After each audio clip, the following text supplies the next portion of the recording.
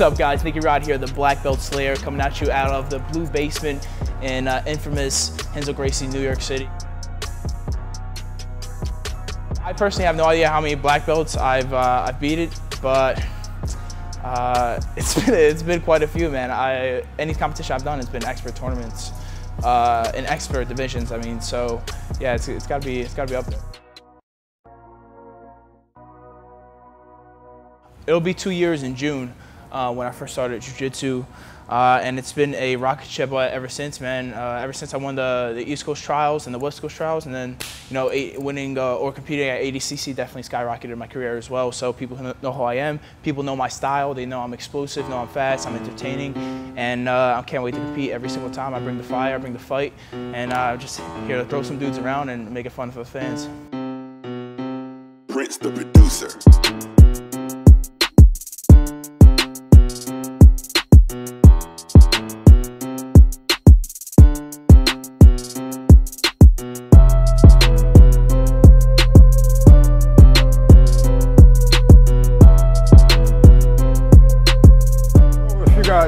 Brother, uh, but the majority of the rounds is with uh, this kid, Nick Rodriguez.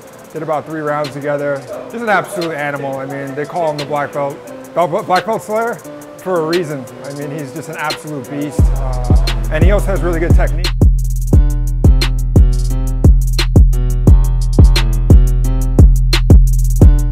Man, training with training down here every day is it's uh, it's tough, man. It's it's hard on the body, it's hard on, on the mind. You know, you're you're pretty much coming here, you come to class, you come to learn, and then you come to fight right afterwards. So uh, you really have to blend, can't staying calm when drilling, and then you know ramping up the, the energy in in live situations. And I think uh, a lot of the stuff that that we do like uh, is quite a different than our competitors. Like we do a lot of positional starts and it does wonders for our cardio, for our, uh, our stability up here, you know, because we can be stuck in bad positions for minutes you know, at, at a time, and it's it gives you, uh, you know, gets you a little bit tougher, and sometimes that's that's the extra edge that you need in competition.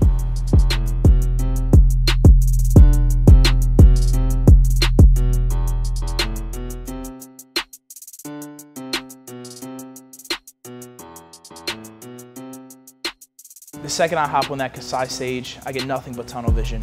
I see my opponent, I see the mat, and I see a fight.